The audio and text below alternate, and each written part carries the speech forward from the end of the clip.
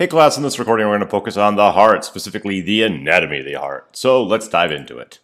As we look at our heart, it is part of the cardiovascular system. And we talked about this last chapter, but just to review and refresh, cardiovascular system, cardio meaning heart, vascular meaning blood vessels, so it's the heart and blood vessels. And that is distinct from the circulatory system, which is going to have the heart, blood vessels, and the blood. Now, as we look at our cardiovascular system, there are some pretty major divisions of our cardiovascular system. The two biggies are the pulmonary circuit and the systemic circuit. And as we look at these two circuits or divisions. The pulmonary circuit is going to be primarily on the right side of the heart, and it depends on how you, you look at it. Um, we are going to have a patient-centered point of view, and from our patient-centered point of view, it's the right side of the heart, right atrium, right ventricle. And it's going to carry blood from the body that's deoxygenated, and then send that blood to the lungs to be reoxygenated. And then uh, the systemic circuit is on the left side of the heart. It carries oxygenated blood from the lungs and then sends that oxygenated blood back to the rest of the body. Now, this figure can be a little bit misleading. Um, a common, well, I shouldn't say common, but a fairly frequent misconception I see from students is they'll see the they'll think that all of the deoxygenated blood goes to one lung and then only oxygenated blood leaves the other lung. That is incorrect. Um, so I just want to be very clear. Each lung, each separate lung receives deoxygenated blood, and each separate lung, the left and right lung, will send oxygenated blood away. Now, as we're looking at the left side of the heart, that left side of the heart is going to receive fully oxygenated blood from the lungs via the pulmonary veins. And we haven't spent a lot of time talking about blood vessels yet, but I just need to emphasize here, veins always, always, by definition, head towards the heart. And by definition, arteries go away from the heart. So the vein, this vein right here, because it's a vein, it's heading towards the heart. And then we look at this palm for a lung. The pulmonary vein is coming from the lungs. The pulmonary artery heads to the lungs. So as we're looking at the right side of the heart, we're going to have oxygen poor blood arrive at the heart, or deoxygenated blood, as I like to say it, arriving from the vena cava, the vena cava. So we have the superior vena cava, you know, the one coming from the top, and then the inferior vena cava, the one coming from the bottom.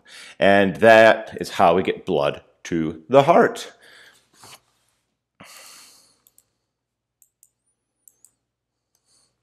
Now, as we're looking at our heart, it's going to be located in the mediastinum cavity. And this is a common stickler for students. A lot of students, uh, you may remember this back in Bio 214, when we talked about body cavities and the serosa, the double membranes around the body cavities. We, we talked about the heart. Many students, myself included, I used to believe this as well, just assumed the pericardial cavity is the one that completely contained the heart.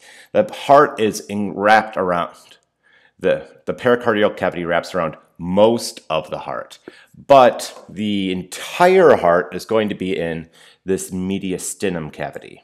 And as we're looking at the heart, there's the pointy end. The pointy end, and I'm coloring it green right here, making a nice point, is called the apex. We also have apexes of lungs, apexes of adrenal glands. Just the apex in human anatomy is a generic term that refers to the pointy end of an organ.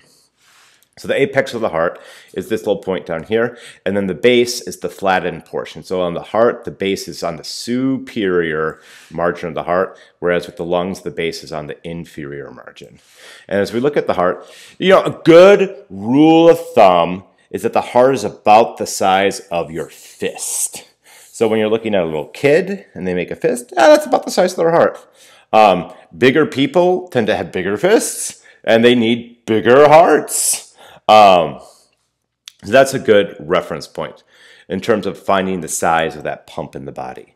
Um, to give you an some numbers, you know, generally speaking, we're talking about a quote unquote average adult. We're looking at about 10 ounces or about two thirds of a pound for the overall mass of the heart. Now, the heart is contained within the mediastinum cavity, but it's enclosed or has wrapped around it the pericardium. And that pericardium is that double walled membrane. It's one of the serous membranes. And as we look at this pericardium, it's one continuous membrane that wraps around the heart and it folds back on itself. And there's a little bit of space, that little tiny bit of space between those double membranes is the pericardial cavity. So the pericardial cavity goes around the heart. It does not contain the heart. And that's why we make that distinction. Um, this is a classic figure here. If you take a fist and jam it into a balloon, the balloon would fold back on itself, just like the serous membrane does. This pericardium is really important because it gives the heart a little bit of room to expand and move. And within this pericardial cavity, we have a bunch of highly slippery fluid, pericardial fluid, that's very um, low friction. It reduces friction and reduces abrasion on the outside of the heart as the heart is pumping and moving around. There are two layers to this membrane. We have the layer against the cavity wall and the layer against the organ itself. And remember back um, to last semester, when we're talking about visceral stuff, we're talking about organ based. So the visceral pericardium is the layer that presses directly against the surface of the heart. And in this instance, for this particular organ, it's also known as the epicardium. The surface membrane of the heart is the inner serous membrane. And then we also have the parietal pericardium. This is the outer layer of the pericardial membrane. Sometimes it's referred to as the pericardial sac. It, and if you ever do a heart dissection, this is a very obvious membrane. It's very conspicuous. And occasionally, we find that people have inflammation build up uh, inflammation of the pericardium or those membranes around the heart. That is referred to as pericarditis. And this particular condition is excessively painful because it's not like you can ever stop moving your heart to help the inflammation go down. Um, it tends to have a lot of positive feedback loops associated with it. Now, as we're looking at the three layers of the heart, we first talked about the surface membranes. Let's talk about the wall of the heart. We can take the wall and break it up into three layers. We have the epicardium, which is on the surface of the heart, and we just talked about on the last slide. It's also known as the visceral pericardium. And every once in a while, um, we'll find, particularly if we're working with individuals that are overweight, carrying a lot of excess weight in their bodies, that they'll have some adipose build up at that epicardial layer. We also find that there's a lot of blood vessels that supply nutrients to the heart tissue, that myocardium itself. And those blood vessels are going to be moving around within the epicardium. We also are going to have an endocardium. And this, as this root word endo implies, if epi is on the surface or above, endo is going to be inside. And it's going to be this innermost layer of the heart. And this endocardium is very slippery and is going to be continuous. It's a simple um, excuse me, what's the word I'm looking for? Simple squamous. There we go. It's a simple squamous layer of tissue that's incredibly slippery and that is continuous with the inner lining of the blood vessels. So that we have um, wherever there's blood moving, it's exposed to this very slippery surface. It also is going to cover the surfaces of the valves of the heart, like this left AV valve that I'm just highlighting right over here so that those valves are less likely to have blood, blood stick to them as well. We don't want blood sticking to the structures inside of the heart because that promotes coagulation, and you definitely don't want the heart to be filled with a giant blood clot. That, tend be, that tends to be bad for patient outcomes. And then there's the, the beef, so to speak, the meaty layer of the heart, the myocardium. Myo me is a, a prefix that we talked about last semester, myo meaning muscle. The myocardium is the layer of cardiac muscle tissue that's in between, sandwiched between the epicardium and the endocardium. And as we look at this myocardium, it tends to spiral. And you really can't see the spiral when you're looking at the heart from the outside. But if you were to look at the apex of the heart, and typically what to see the spiral, you take the apex of the heart and then you just slice off just the tip of the apex of the heart, and you can get a view that looks like this. So you can see that spiraling of the cardiomyocytes. So and that spiral um, causes the heart to twist as it contracts. It's just like wringing water out of a dish rag after you, um, right before you wipe down a countertop. It really just squeezes all the possible blood out of the heart when it contracts. And as we're looking at our heart, our heart also has a fibrous skeleton. This fibrous skeleton is going to be made of a lot of collagen and elastic fibers. And here's a, a figure highlighting some of that fibrous skeleton for us. And these, these um, collagen and elastic fibers are the the girders, the grid work, the framework of the heart that the cardiomyocytes attach to. These are going to provide the anchor points or the other structures of the heart. And this fibroskeleton also is going to give us electrical insulation. We want the atria and the ventricles to be separated from each other, um, electrically speaking. So here we have ventricles on the bottom of the screen that I'm circling in green right now. And these ventricles are going to contract at the same time. But then above those ventricles, right here where I'm making this big green oval, there, there should be atria. And we, when the atria are contracting and having electricity travel through them, we don't want electricity traveling through the ventricles. We want one, the atria to contract and then the ventricles to contract. So this fibrous skeleton helps to coordinate the contraction of the heart so that we can have efficient pumping of blood. Now, as we look at the chamber of the heart, we have four chambers total. Atria are superior, ventricles are inferior, and we have also we're going to have left and right terminology. And again, remember, patient-centered points of view are used when we use left and right terminology.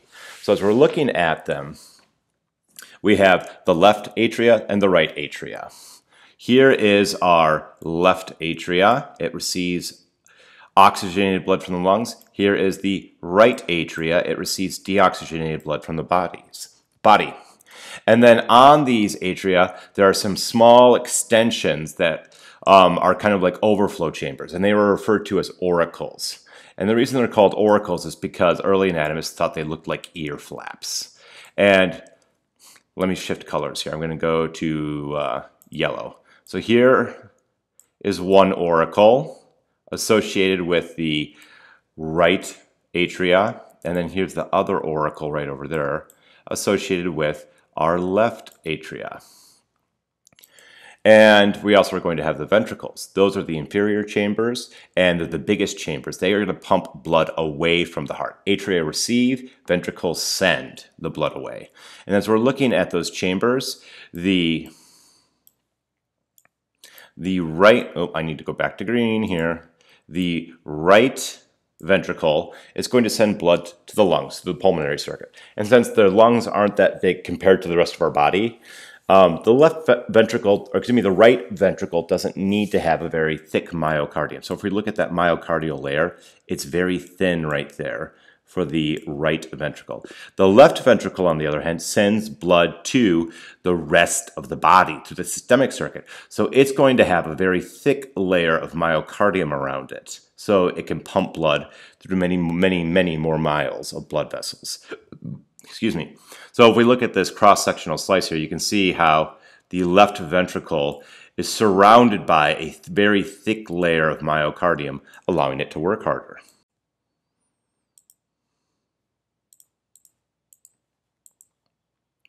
Now, as we're looking at these chambers of the heart, we're also going to have some sulci. And the sulci, if you remember from the nervous system, a sulcus in the brain is just a shallow groove or indentation. So we're going to have some shallow grooves or indentations in the heart. We have the atrioventricular sulcus, atrio ventricular is a fantastic name. I love it because it tells you exactly where it's going to be. It's going to be a small, shallow indentation that helps to separate the atria from our ventricles. And we also are going to have an interventricular sulcus. And when we look at this interventricular sulcus, inter means in between. What's it in between? It's in between the ventricles. And that interventricular sulcus is very clearly visible in heart dissections. We have an anterior and a posterior interventricular sulcus. I just circled the anterior here in green. Here's the posterior interventricular sulcus over here also circled in green. And these posterior and in, excuse me, anterior and posterior interventricular sulci are typically going to be uh, filled with major blood vessels and a little bit of adipose tissue as well. These sulci will have the coronary arteries, those major blood vessels of the heart.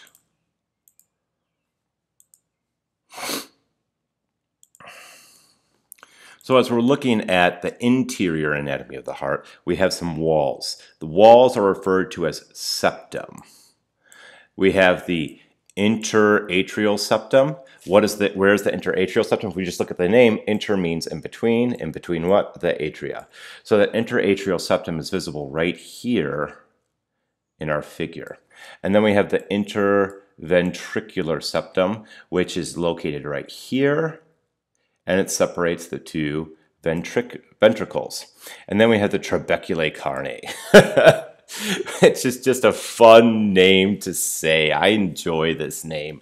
So as we look at the trabeculae carneae, our trabeculae carneae are labeled right here in our figure, and they are pointing to these branch-like structures of, or these ridges, eh, or branching kind of structures that are on the inside of the ventricles, and they help to keep the ventricle walls from completely sticking together during contraction.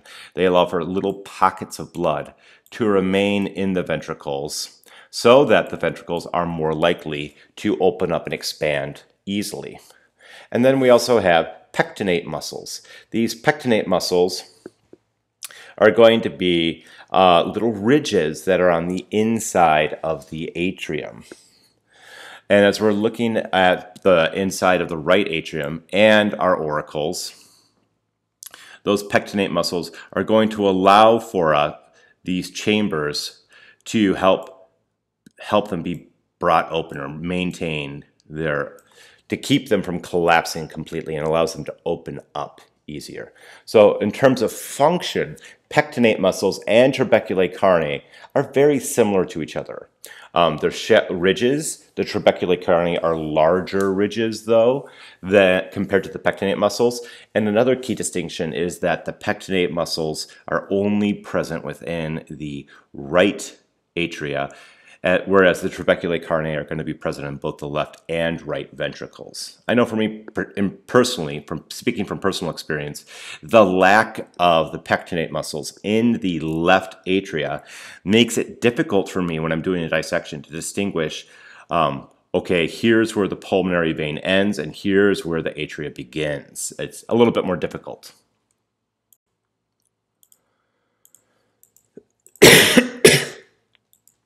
We also are going to have valves in our heart. These valves in our heart are have multiple names. I'm going to give you my preferred names. Um, those are the ones that I've made bold, but there are multiple names out there. We use valves to make sure the blood flows one way through the heart. Atrioventricular valves, or AV valves, are going to control blood flow between atria and ventricles. So the AV valve is between an atria and a ventricle, and we have our left and right. The right AV valve has three cusps to it, which is why it's also known as a tricuspid valve. The left AV valve has two large cusps to it. It's known as the bicuspid valve. And to hold these valves in place, we have chordae tendineae. And you can see those chordae tendineae right here in this backlit photograph of a heart. Um, those chordae tendineae are going to connect to the cusps, which are up here, of the muscle, the valves. And to hold the chordae tendineae in place, there's a ridge of muscle tissue or a, a papilla of muscle tissue referred to as the papillary muscle. And as we're looking at these valves of the heart, the blood will flow through the right AV valve on the right side of the heart before it flows through the left AV valve on the left side of the heart. So I remember as a student, the rhyme was that you need to try before you buy. Blood goes through the tricuspid before it flows through the bicuspid. Um, but those names tend to, tricuspid and bicuspid tend to be a little bit more difficult for students. Right AV and left AV valves are um, much more descriptive names that are easier for students to wrap their minds around. And we also have semilunar valves, and they're called the semilunar valves because of the cusps having a half moon like appearance or a, um, a crescent moon appearance. And these semilunar valves are going to control blood flow through the or out into the aorta and into the pulmonary artery.